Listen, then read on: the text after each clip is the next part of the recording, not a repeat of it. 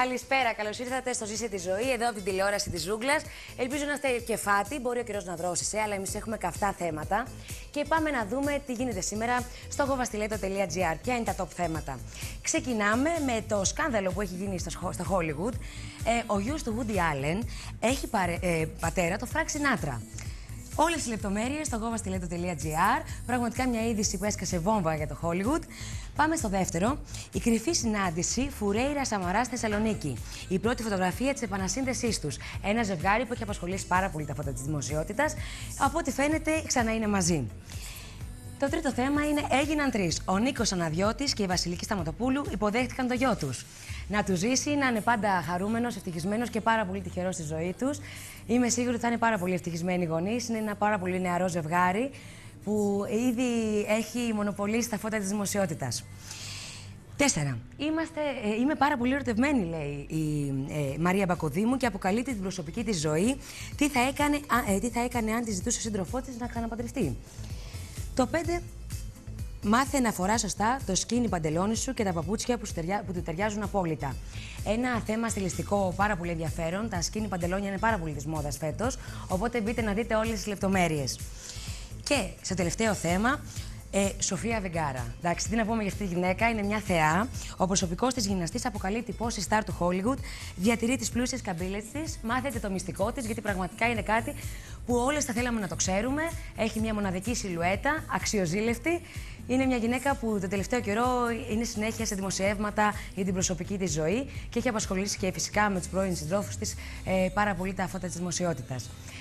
Αυτά από το govastileto.gr. Εμείς σήμερα θέλω να σας πω ότι έχουμε δύο πάρα πολύ ωραία θέματα. Σε πάρα πολύ λίγο θα υποδεχτούμε τη Miss Skin Ελπίδα Κολδύρη, η οποία θα μας μιλήσει για τις βλαβερέ συνέπειες της υπερβολικής έκθεσης ε, στον ήλιο και τι μπορούμε να κάνουμε ε, μετά από κάτι τέτοιο. Και τον ε, πλαστικό χειρούργο Απόστολο Γαϊτάνο, ο οποίος θα μας μιλήσει για την πλαστική στήθους, ανόρθωση και αύξηση ε, στήθους επίσης. Πάμε σε ένα σύντομο διαφημιστικό διάλειμμα και σε δύο λεπτάκια θα είμαστε και πάλι μαζί σας.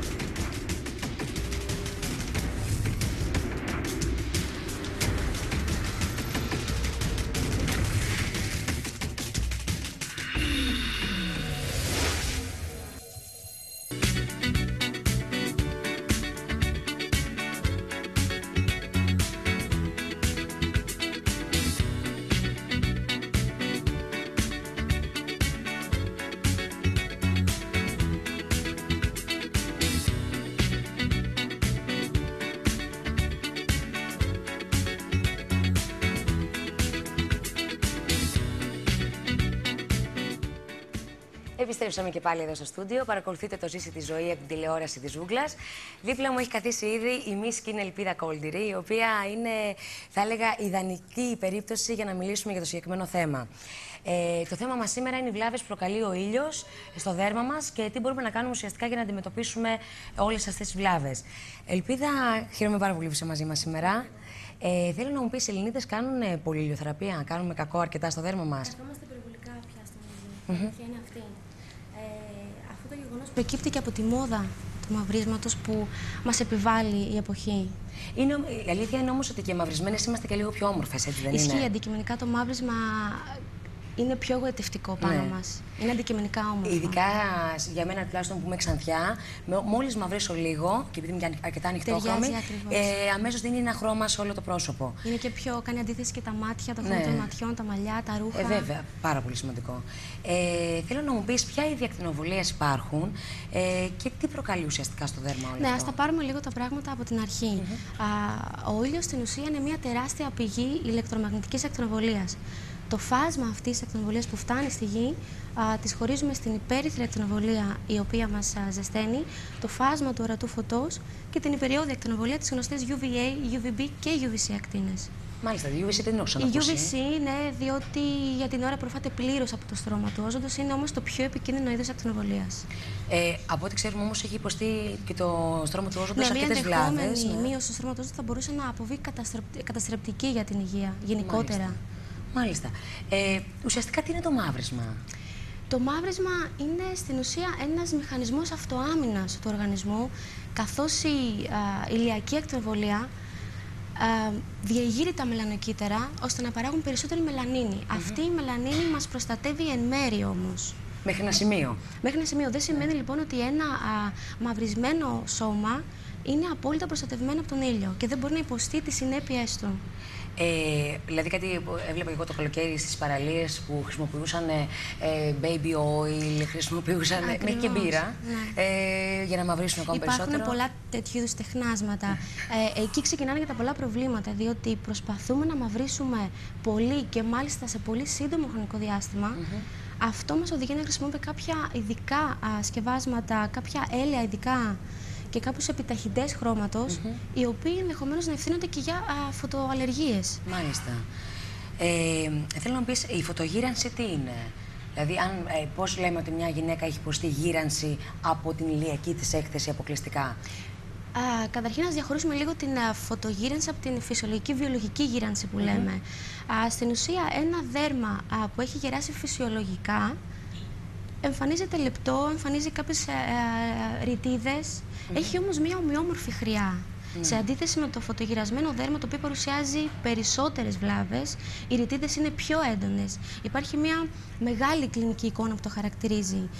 Η κλινική εικόνα της, της φωτογύρανσης στην ουσία είναι και η εικόνα που βλέπει ο καθένας μας μετά το καλοκαίρι, σε οποιαδήποτε ηλικία. Μάλιστα. Δηλαδή, το δέρμα εμφανίζει, α, καταρχήν είναι ξηρό, είναι τραχή.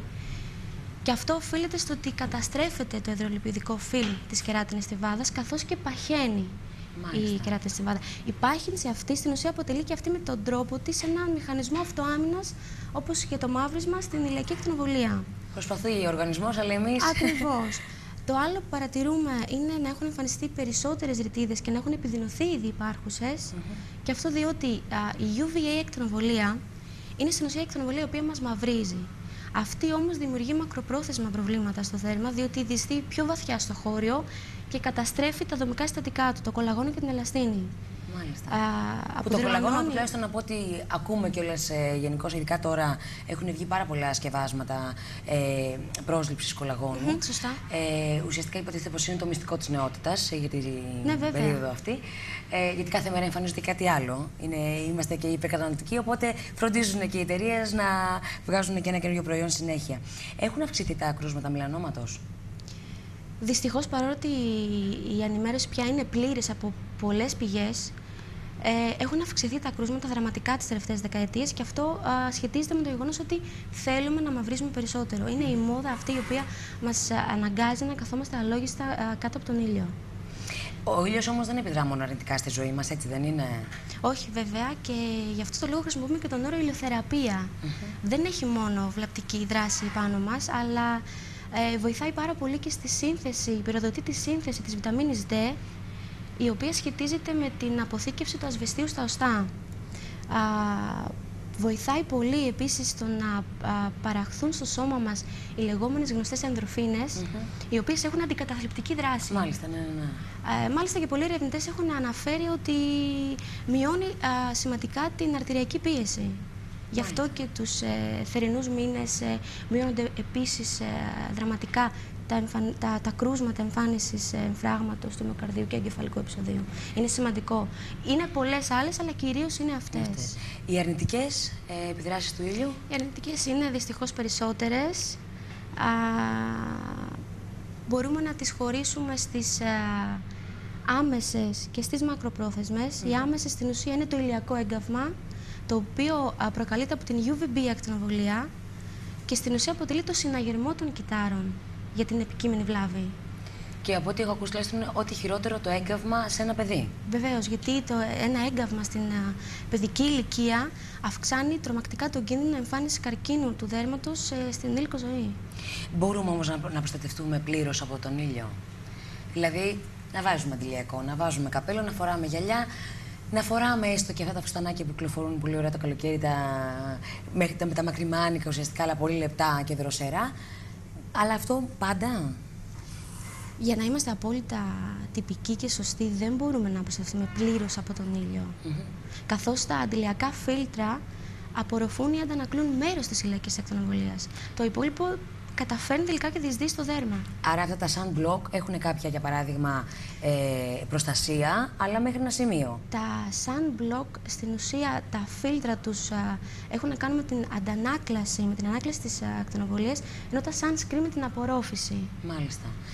Ε, όταν τελειώσει το καλοκαίρι, τελειώσει η ηλιοθεραπεία, τι κάνουμε, τι πρέπει να κάνουμε για το δέρμα μας; Α...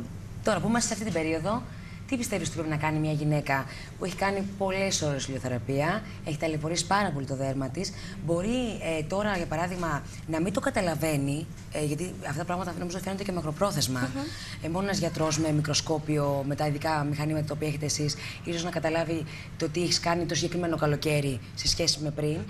Αλλά τι μπορεί να κάνει τώρα ώστε να βοηθήσει το δέρμα της να αναγεννηθεί, να ενυδατωθεί φυσικά; Σωστά. Θα πρέπει από τη δική μας πλευρά να χρησιμοποιούνται προϊόντα ενυδατικά, καταπραϊντικά και συστατικά που περιέχουν παράγοντες που προάγουν την επούλωση. Μάλιστα. Όπως είναι η aloe vera, η αλαντοίνη, η πανθενόλη. Αυτά σε προσωπικό επίπεδο. Όσον αφορά την επαγγελματική προσέγγιση, οι θεραπείες είναι πολλές.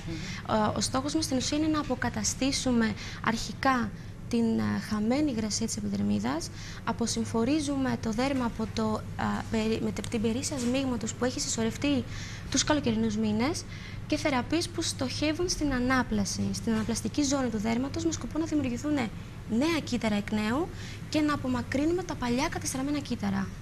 Σίγουρα όμως όλα τα δέρματα δεν είναι τα ίδιο. Ε, εγώ τουλάχιστον αυτό πιστεύω, γιατί έτσι φαίνεται το πράγμα. Δηλαδή, θέλω να πω, οι μελαχρινές γυναίκες έχουν τελείως διαφορετικό δέρμα. δεν είναι μόνο το χρώμα, είναι και το δέρμα τους διαφορετικό από ναι. τις ξανθιές. ε, έχουν υποστεί όμως τις ίδιες βλάβες από τον ήλιο. Όλα τα δέρματα μπορούν να υποστούν τις συνέπειες του ήλιου. Το θέμα είναι αυτό που τα διαφοροποιεί στην ουσία ο φαινότυπος που ανήκουν. Γι' αυτό κατατάσσουμε τα δέρματα σε έξι διαφορετικούς φαινότυπους. Ξεκινάει από το φαινότυπο 1 έως το φαινότυπο 6, από το ανοιχτόχρωμο πολύ λευκή επιδερμίδα που συνδυάζεται συνήθως και με ανοιχτόχρωμα μάτια και όσο προχωράμε ε, το δέρμα σκουραίνει.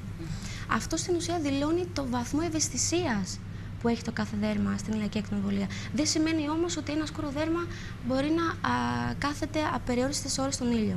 Απλά θα χρειαστεί περισσότερος χρόνος ε, για να υποστεί το έγκαυμα, για ναι, παράδειγμα. Ναι, σίγουρα. Ή να εμφανίσει κάποιες βλάβες. Μα αυτό είναι και το θέμα, αυτό που ακούω και εγώ πάρα πολύ συχνά και από φίλες μου, οι οποίες είναι πιο σκουρόχρωμες, είναι ότι τι γιατί να βάλω αντιλιακό, δεν πρόκειται να καώ. ε, υπάρχει αυτή η αντίληψη πάρα πολύ στον ναι, κόσμο. Ναι, δυστυχώς είναι λανθασμένη, βέβαια. Ε, αντιλιακό και το χειμώνα, γιατί τώρα μπήκαμε και στο χειμώνα, κορισία, οπότε να μάθουμε τι βάζουμε. Βέβαια και το χειμώνα.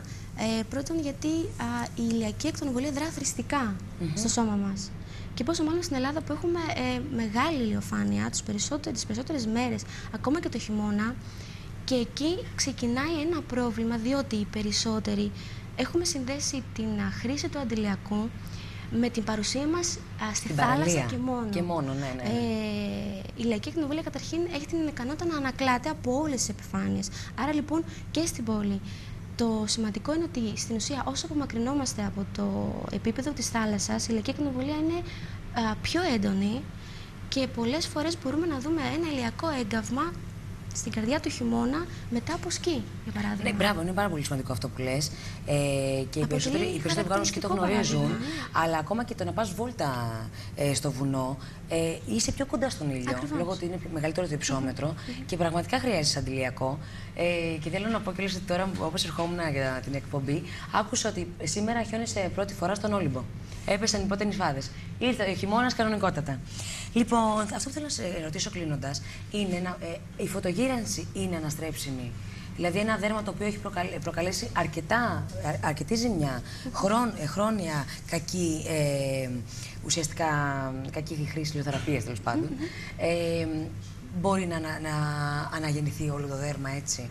Είναι το μεγαλύτερο όργανο του, του ανθρώπινου οργανισμού. Αυτό. Ε, πολλά προβλήματα ξεκινάνε από το ότι έχουμε παρεξηγήσει το δέρμα και νομίζουμε ότι είναι μία άψυχη μεμβράνη. Στην ουσία είναι όργανο και μάλιστα το μεγαλύτερο όπως είπες. Ε, αποτελεί την πρώτη γραμμή άμυνας του οργανισμού.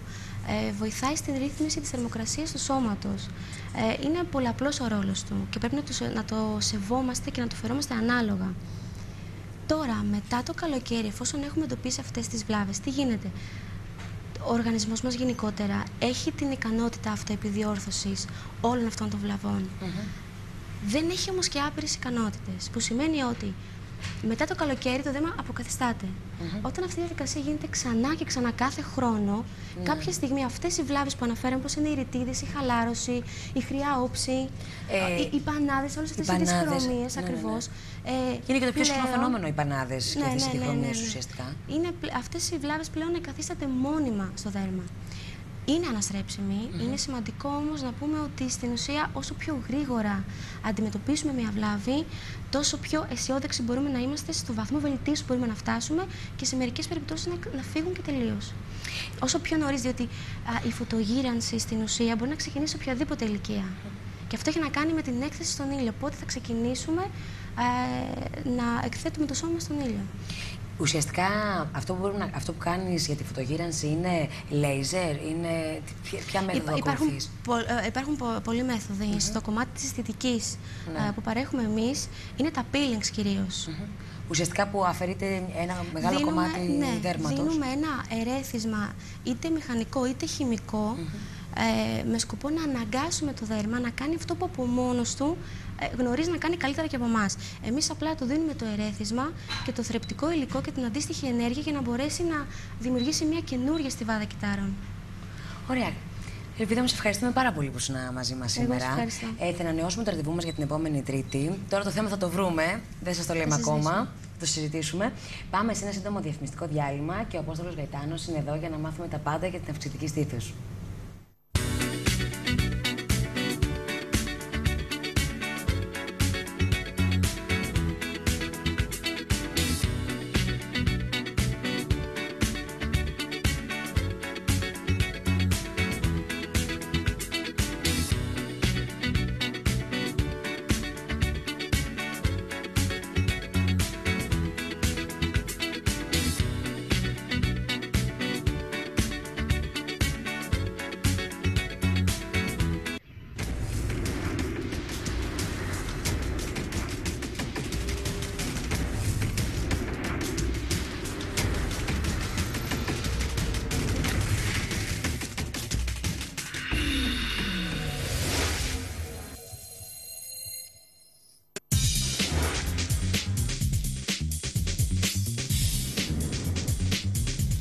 Πιο γνωστός άγνωστος μη. Καθημερινά στην τηλεόραση της Ζούγκλας. Μία με δύο το μεσημέρι. Με την υπογραφή του Μάκη Τριανταφυλόπουλου.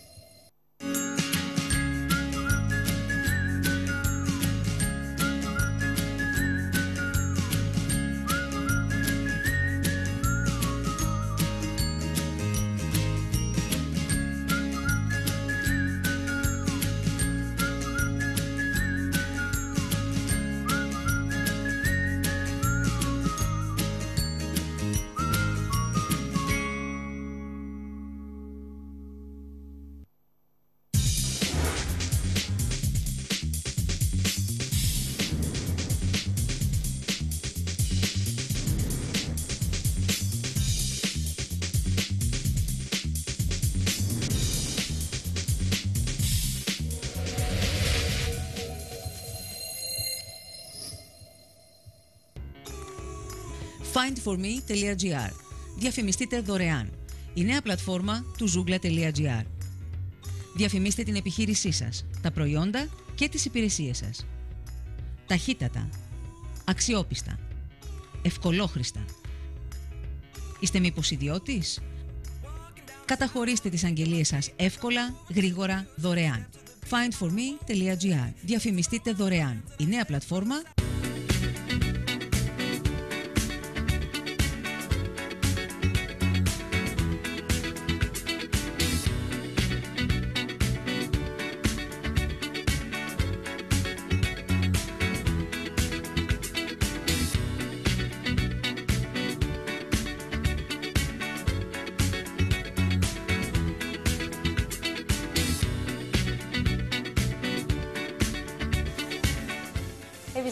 Επιστρέψαμε και πάλι στο στούντιο. Παρακολουθείτε το Ζήση τη Ζωή.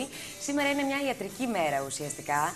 Ε, έχω δίπλα μου τον κύριο Απόστολο Γαϊτάνη, ο οποίος είναι πλαστικός χειρούργος και θα μιλήσουμε για την αυξητική στήθους και, και λίγο για την ανόρθωση ουσιαστικά, γιατί έχει να κάνει και αυτό και με την αύξηση πολλές φορές.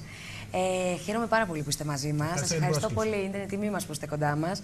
Ε, Πώς μπορεί να μεγαλώσει το στήθος μας, είναι κάτι που μπορούμε εμείς οι πλαστικοί χειρουργοί να προσφέρουμε στην γυναίκα. Δηλαδή, μπορούμε να της μεγαλώσουμε το, το στήθος. Δεν είναι και λίγο. Ε, Απλώς θα πρέπει να βεβαιωθούμε ότι ενημερώνουμε τις γυναίκες για τους για τους τρόπους που υπάρχουν και επίσης ε, θα πρέπει να ληφθούν και ορισμένες αποφάσεις σχετικά με το ιατρικό ιστορικό και σχετικά με το τι στήθος θέλει η γυναίκα.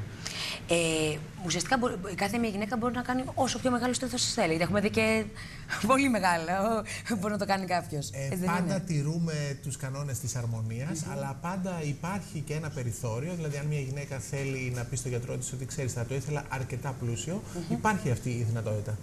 Ε, Πώς γίνεται η επέμβαση ουσιαστικά, Η επέμβαση γίνεται με ενέσιμα ενθέματα σιλικόνης, τα οποία είναι καινούριας τεχνολογίας και είναι ενθέματα σιλικόνης τα οποία έχουν και έγκριση και από τον Αμερικάνικο Οργανισμό Φαρμάκων. Και βασικά αυτό που κάνουν είναι κάτω από το στήθος της γυναίκας, αυτό ναι. που ήδη έχει, σε ορισμένες περιπτώσεις ακόμα πιο βαθιά κάτω από το μείζον αθωρακικό μη, ε, δηλαδή από τον μη του, του θώρακα, από τον βασικό μη του θώρακα, βάζουμε το ένθεμα σιλικόνη. Επειδή είπατε ενέσιμα ενθέματα, δεν είναι αυτό που έχουμε συνηθίσει το, το, το μείωμα. Ναι, αυτό, το, αυτό, αυτό ναι, εννοείται. Ναι, ναι, ναι. Τι ακολουθεί μετά την επέμβαση, ουσιαστικά είναι και κάτι το οποίο που θα ενδιαφέρει πάρα πολύ κόσμο. Ε, ειδικά για τις γυναίκες οι οποίες έχουν πολύ μικρό στήθος, θέλω να μου πείτε, ε, και θέλουν να το μεγαλώσουν. Είναι, είναι, τι ακολουθεί ουσιαστικά μετά την επέμβαση, θα σα πω. Ε, μία βασική κατηγορία γυναικών που κάνουν αυξητική στήθους είναι οι γυναίκες που μετά τα 20, οι γυναίκες 25 χρονών, 27 χρονών, έχουν μικρό στήθος, έχουν καλές έχουν καλές σωματικές αναλογίες και θέλουν να αποκτήσουν περισσότερη θηλυκότητα και έτσι περισσότερη αυτοπεποίθηση, βάζοντας ε, λίγο όγκο στο στήθος τους. Λίγο ή περισσότερο όγκο στο στήθος. Ουσιαστικά είναι και αυτό που κάνει μια γυναίκα ακόμα πιο θηλυκιά, έτσι δεν είναι; Έχει να κάνει με την αυτοπεποίθηση και είναι μύθος ότι οι γυναίκες κάνουν την αυξητική στήθους για τους φίλους τους ή για το άλλο φίλο. το κάνουν και πολύ για τον εαυτό τους. Ναι, μόνο ναι. για τον εαυτό τους, ε, για να αποκτήσουν αυτοπεποίθηση, για να ε, φοράνε ρούχα τα οποία θέλουν, για να κοιτάνε τον εαυτό τους στον, στον καθρέφτη όπως αυτές θέλουν. Πώς, ε, να, πούμε λίγο, πόση ώρα διαρκεί μια τέτοιου είδους επέμβαση; Μια τέτοια επέμβαση διαρκεί μία ώρα περίπου, μία με μία μισή ώρα. Και με τα εγχειρητικά ουσιαστικά; Με τα εγχειρητικά η γυναίκα θα πρέπει να λείψει από την εργασία της μία εβδομάδα περίπου. Μία εβδομάδα. Ναι. Ε, έχει να κάνει με το αν είχε στήθος μικρό ή καθόλου πριν; Εάν δεν έχει καθόλου στήθος ή έχει πολύ μικρό στήθος, είναι άλλη τεχνική η οποία εφαρμόζεται. Δηλαδή, θα πρέπει η σιλικόνη να μπει κάτω από τον μείζον αθωρακικό μη ή ακόμα σε ορισμένες περιπτώσεις κάτω από την περιτονία του μειός. Και έχει να κάνει και με, την, ε, και με το γεγονός ότι θα πρέπει να κοιτάξουμε και το θώρακα της γυναίκας, γιατί δεν μας απασχολεί μόνο το στήθος που ήδη έχει η γυναίκα, αλλά μας απασχολεί και πόσο μεγάλο είναι ο θωρακάς της. Ε, εννοείται πόσο μπορεί να χωρέσει ναι. ουσιαστικά. Ναι, ναι. Μάλιστα. Ε, κάτι από το οποίο μπορεί ο κόσμος να μην. Ε, να, και εγώ ίδια δεν το γνωρίζω, είναι ε, αν θες μετά να κάνεις μαστογραφία, τι γίνεται; Μπορεί να κάνει μαστογραφία η γυναίκα. Ε, Απλώς θα πρέπει να ληφθούν ορισμένες έξτρα λήψεις, αλλά εννοείται ότι μπορεί να κάνει και πρέπει να κάνει μαστογραφίες από την ηλικία εκείνη την, την οποία ε, επιτρέπονται οι, οι μαστογραφίες. Γύρω στα 30 νομίζω ότι είναι αυτή η Εξαρτάται, 30, ναι, αυτό κυμαίνεται, είναι γύρω Αν δεν υπάρχει κάποιο κληρονομικό. Αν δεν υπάρχει ε, σίγουρα, κάποιο, ναι. Ε, ουσιαστικά όμως και πριν κάνει την επέμβαση ε, αύξησης του στήθους, κάνει και μια μαστογραφία, δεν είναι. Όχι απαραίτητα, εάν είναι μικρή ηλικία, δεν υπάρχει οικογενειακό ιστορικό, δεν είναι απαραίτητο να κάνει μαστογραφία. Και πριν φτάσει μια γυναίκα στη μαστογραφία, μπορεί να ελέγξει το στήθος της και με τη μέθοδο των υπερήχων, η οποία είναι λιγότερο ε, επεμβατική. Ε, αλλά πάντως ε, μια νέα γυναίκα δεν είναι απαραίτητο να κάνει μαστογραφία πριν, ε, πριν κάνει πριν την, την, αυξητική στήθη. Μάλιστα. Ε, μπορούν τα εθέματα ε, να βλάψουν την υγεία; Τα ενθέματα δεν βλάπτουν την υγεία. Γιατί έχουμε ακούσει διάφορα πράγματα. Έχετε ακούσει διάφορες ιστορίες. Ότι ε, σκάσανε στο αεροπλάνο. Όχι, στο αεροπλάνο δεν σκάνε. Αυτό είναι, είναι ένας μύθος ο οποίος ε, κυκλοφορεί τουλάχιστον 20 χρόνια. Ναι. Και, και Στι έχει- κομμωδίες περισσότερο Ναι, έχει και- χρησιμοποιηθεί πάρα πολύ. Έχει να κάνει με το γεγονός ότι καμιά φορά παλιά χρησιμοποιούσαν ενθέματα που είχαν μέσα φυσιολογικό ορό και η θεωρία είναι ότι αν βάζοντας τον φυσιολογικό ορό μπήκε αέρας μέσα, μπορεί αν γίνει αποσυμπίεση στο αεροπλάνο, ο αέρας αυτός να διασταλεί και θεωρητικά να σκάσει. Αλλά όχι, τα ενθέματα σιλικόνης δεν σκάνε στα Πλέον αεροπλάνα. δεν Έτσι είναι. δεν σκάνε στα αεροπλάνα. Και από ό,τι έχω δει, γιατί έχω πιάσει τέτοιο ένθεμα, ε, είναι αρκετά α, σκληρό. Πώς να το πω, έχει μια επιφάνεια. Έχει αρκετά... τραχιά επιφάνεια. Ναι, ναι, ναι. Έχει τραχιά επιφάνεια γιατί έχουμε βρει ότι βάζοντας τραχιά επιφάνεια μειώνουμε την πιθανότητα το να γίνει κάψα.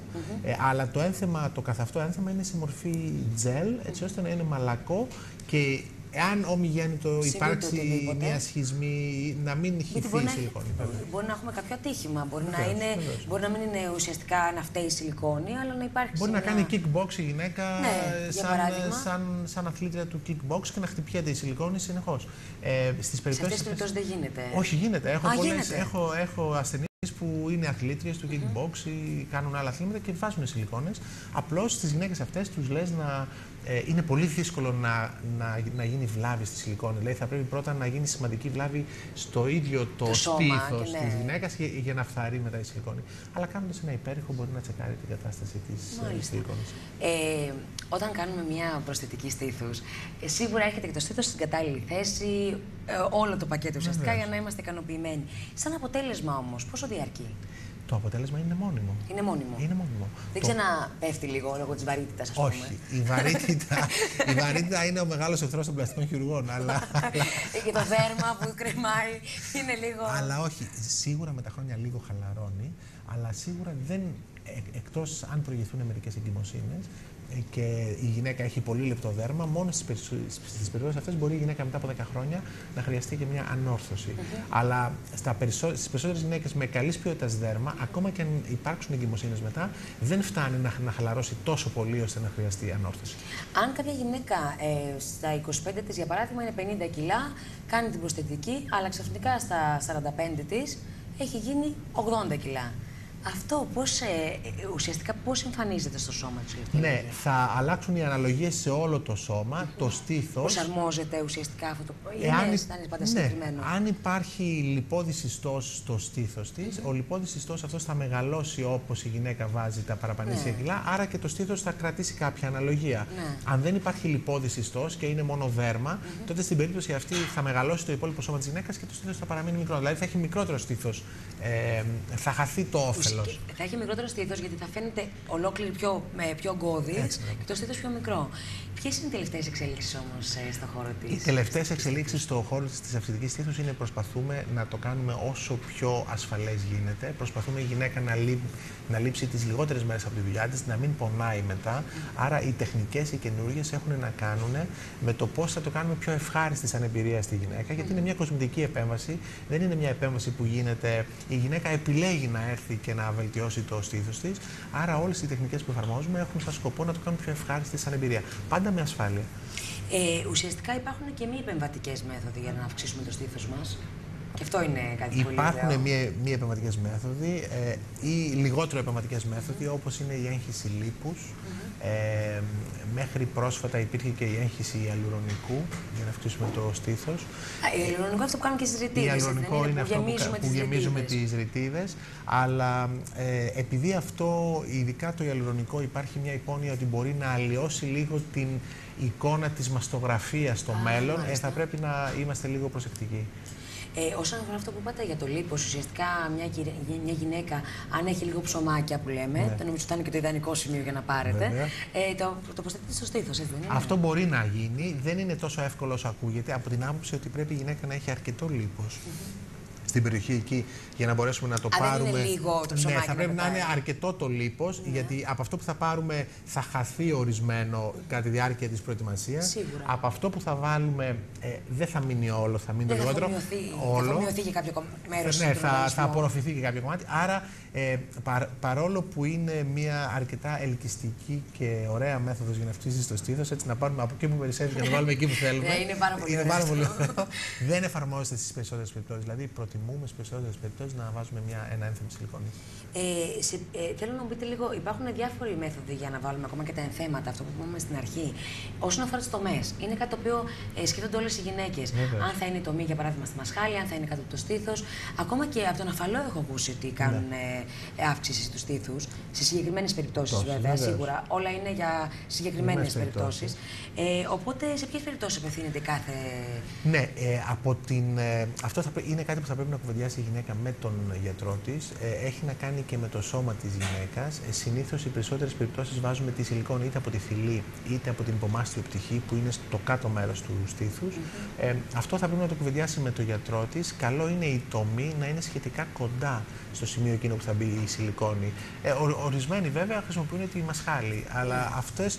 Ε, είναι και πιο παλιά μέθοδος, νομίζω. είναι, η είναι, μασχάλη, είναι έτσι. πιο παλιά μέθοδος γιατί έχει ορισμένα προβλήματα. Δηλαδή, ε, καλό είναι η τομή να είναι πιο κοντά εκεί που θα βάλουμε το, το ένθεμα σιλικόνης. Ναι. Και γι' αυτό ίσως και παλιά λέγανε οι γυναίκες οι οποίες κάνανε αυξητική στήθου ότι δυσκολευόταν να σηκώσουν τα χέρια τους. Έτσι δεν είναι, δεν, Ναι, δεν προκαλεί αυτό, αυτό έχει να κάνει με το γεγονός ότι αν ε, δυ- δυσκολεύονται να σηκώσουν τα χέρια τους για κανένα μήνα περίπου μετά την επέμβαση, αν ε, η σιλικόνη μπει κάτω από τον μη τον μείζονο θωρακικό μη. Αλλά αυτό είναι κάτι προσωρινό. Δηλαδή δυ- δυσκολεύονται για, για κανένα μήνα. Μετά ε, ε, επανέρχεται.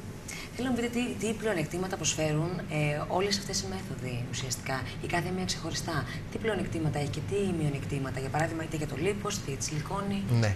Ε, τα πλεονεκτήματα που έχει η μέθοδος της σιλικόνης, του ενθέματος σιλικόνης, είναι ότι μία και έξω μπαίνει η σιλικόνη, σαν μέγεθος είναι σταθερό, δηλαδή το όφελος που θα πάρει η γυναίκα ε, είναι εκεί, είναι, είναι σταθερό. Ε, είναι μια μέθοδος που χρησιμοποιείται για πάρα πολλά χρόνια και την έχουμε δοκιμάσει και έχουμε δει τα αποτελέσματά της. Τα, ε, το βασικό της ε, μειονέκτημα είναι ότι είναι μια, ε, μια χειρουργική επ- επ- επέμβαση, η οποία ε, είναι σχετικά σύντομη, είναι περίπου μία ώρα, είναι σχετικά επέμβαση ρουτίνας, παρόλο που πρέπει να γίνει με τις κατάλληλες προφυλάξεις και να, και να ληφθούν όλα τα απαραίτητα μέτρα. Τα, η αύξηση στήθους με το λίπος και με το ιαλουρονικό ε, δίνει, είναι κάτι λιγότερο ε- επεμβατικό και αυτό είναι αρκετά ελκυστικό ορισμένες φορές ε, στο, στις γυναίκες, αλλά έχει περιορισμούς, δηλαδή δεν μπορείς να αυξήσεις το στήθος όσο θέλεις, ένα κομμάτι του λίπους μπορεί να απορροφηθεί και δημιουργεί και διατάραξη στην εικόνα της μαστογραφίας στο μέλλον. Όσον αφορά την ανόρθωση, να περάσουμε Ναι. λίγο και σε αυτό το κομμάτι, που μια γυναίκα μπορεί να έχει αρκετά μεγάλο στήθος, απλά δυστυχώς λόγω της της πάροδου του χρόνου, ε, είτε έχει βάλει κιλά, είτε ότι έχει μια εγκυμοσύνη για παράδειγμα, ε, έχει μια πτώση στο στήθος. Βέβαια. Εκεί τι λύσεις υπάρχουν; Στις περιπτώσεις που κάνουμε ανόρθωση στήθους, πάλι εξετάζουμε την ηλικία της γυναίκας, εξετάζουμε το σωματότυπό της. Δύο είναι οι τρόποι. Είτε να ανορθώσουμε αυτό που ήδη έχει και να μην προσθέσουμε όγκο, να μην της βάλουμε ένθεμα σιλικόνης, είτε αν αυτό που έχει είναι αρκετά άδειο και πεσμένο, μπορούμε να το ανορθώσουμε και να βάλουμε και μια μικρή σιλικόνη για να, για να προσθέσουμε όγκο.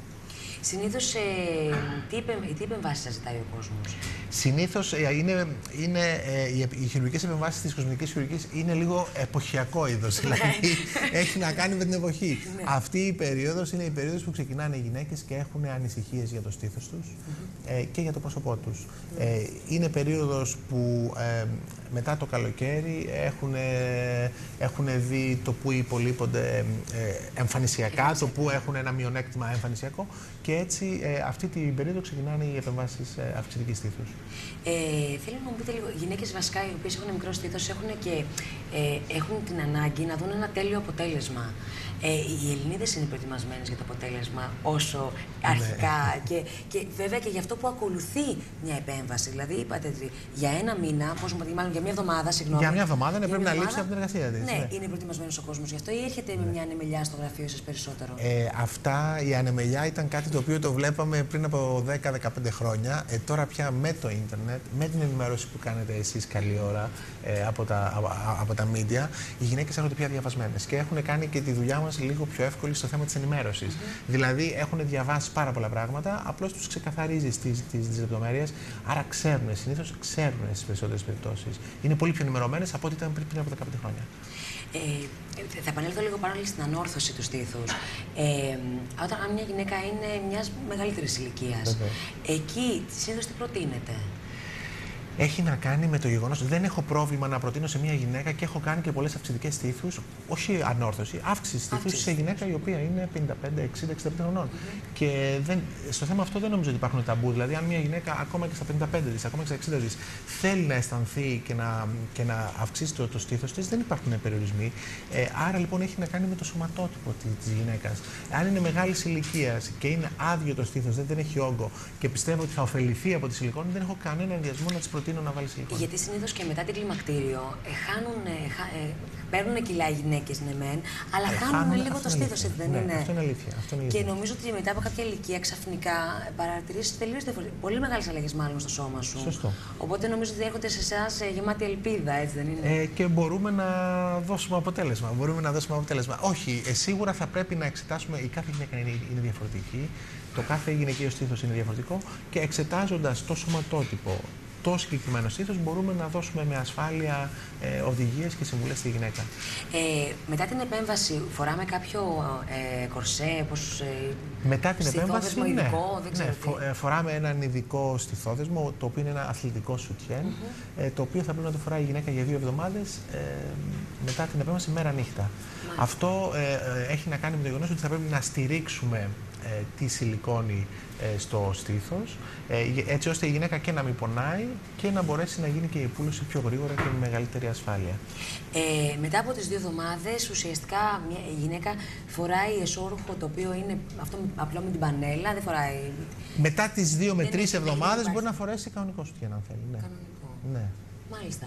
Και ε... μετά μπορεί να πάει να αγοράσει τα καινούργια συνολάκια της και, και να τα φοράει. και να τα φοράει ναι. Θέλω να μου πείτε τι σας λένε οι γυναίκες μετά την αυξητική στήθος. Πόσο χαρούμενε μπορεί να είναι μετά από αυτό; Είναι μια επέμβαση η οποία. Είστε και ψυχολόγος ουσιαστικά. Έτσι δεν είναι; Ε, ψυχοθεραπευτής θα το έλεγα ίσως. Γιατί ε, πραγματικά νομίζω ότι ε, κάνετε ένα όνειρο πραγματικότητα. Ναι, αυτό είναι αλήθεια. Είναι, είναι, είναι πάρα πολύ ευχαριστημένε. Είναι τρομερό το τι αυτοπεποίθηση του, τους δίνεις και μπορεί μια γυναίκα η οποία να έχει μικρό στήθος και να μην την απασχολεί να λέει Μα τι λένε τώρα; Ναι. Εγώ έχω μικρό στήθο και δεν με απασχολεί.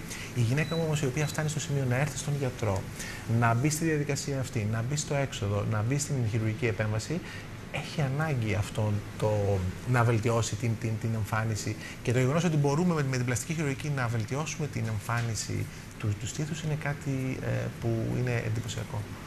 Αυτά τα high profile ε, θέματα, τα καινούργια, τι λένε; Αυτά είναι, ναι, είναι, είναι, τεχνική, είναι τεχνική όρη. Ε, το, συνήθως η σιλικόνη, επειδή η γυναίκα αυτό που θέλει τώρα είναι ε, να έχει το στήθος, να έχει το σχήμα σταγόνας και να πηγαίνει προς τα μπρος ναι. και να μην είναι αρκετά, να μην είναι φαρδί ναι. και μεγάλο, αλλά να είναι στενό και να πηγαίνει προς τα μπρος, ναι. ε, χρησιμοποιούμε τα θέματα υψηλού προφίλ, τα, τα high profile όπως πολύ σωστά είπατε, ε, έτσι ώστε να δώσουμε το, τη, τη μεγαλύτερη όθηση προς τα μπρος. Μάλιστα. Λοιπόν, θέλω να σας ευχαριστήσω πάρα πολύ που ήσασταν μαζί μας. Ευχαριστώ για την πρόσκληση. Ε, κάπου εδώ τελείωσε και η εκπομπή. Θέλω να σας ευχαριστήσω που μας παρακολουθήσατε. Ραντεβού αύριο με την Ελένη Γκίζα, η οποία θα μας μιλήσει για το τι μπορούμε να κάνουμε για να έχουμε πάρα πολύ όμορφα δοντάκια και ενήλικες και παιδιά και τους τρόπους που πρέπει να καθαρίζουμε τα δόντια μας. Γιατί πραγματικά νομίζω ότι οι περισσότεροι δεν έχουμε ιδέα για το τι πρέπει να κάνουμε. Σας ευχαριστούμε πολύ που μας παρακολουθήσατε. Καλή συνέχεια. Να είστε καλά.